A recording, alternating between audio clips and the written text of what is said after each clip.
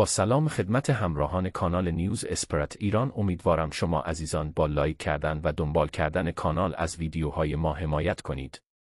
فرهاد مجیدی سرمربی تیم امید امارات شد. فرهاد مجیدی به عنوان سرمربی تیم فوتبال امید امارات انتخاب شد.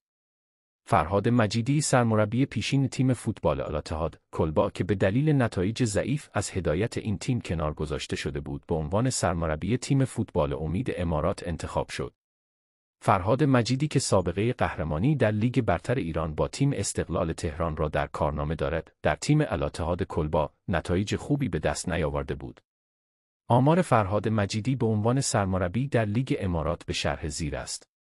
چهل و یک بازی دوازده برد. ده تساوی. نوزده شکست.